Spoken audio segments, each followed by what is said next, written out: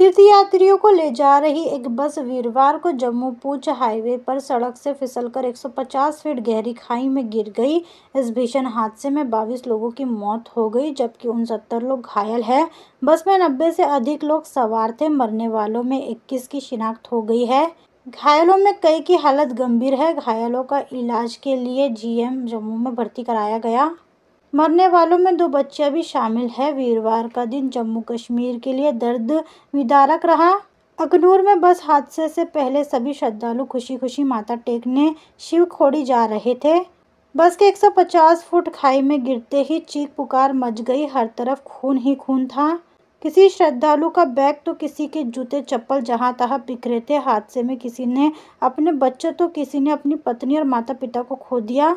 श्रद्धालुओं को गहरी खाई से निकालने वाले स्थानीय लोगों व सुरक्षा कर्मियों ने सराहनीय भूमिका निभाई।